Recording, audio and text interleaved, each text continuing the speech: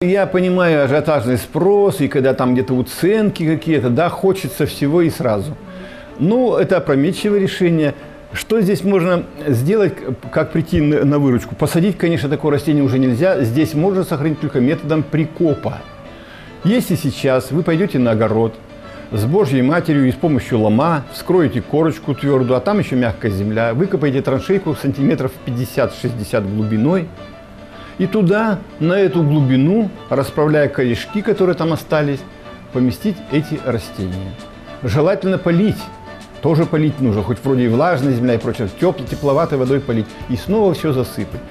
Эм, вершинка должна смотреть на север в этом случае. И место нужно выбирать максимально повышенное, чтобы вешние воды не затопили вот это место сохранения вот этих растений.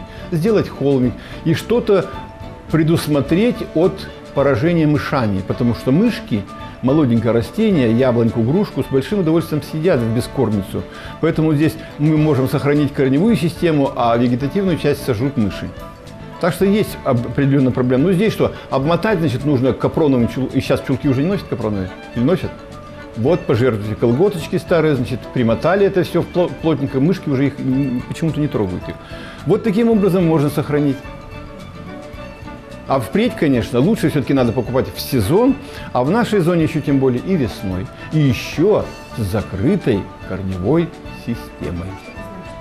То есть в горшке.